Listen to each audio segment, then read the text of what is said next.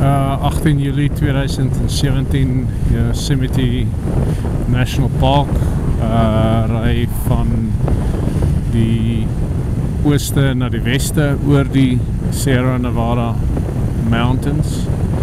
Um, in die ooste lyk het vir my waar meer sneeuw is as in die weste. En sy was nou laar af as ek is nie seker maar um, hier is net een rustige um,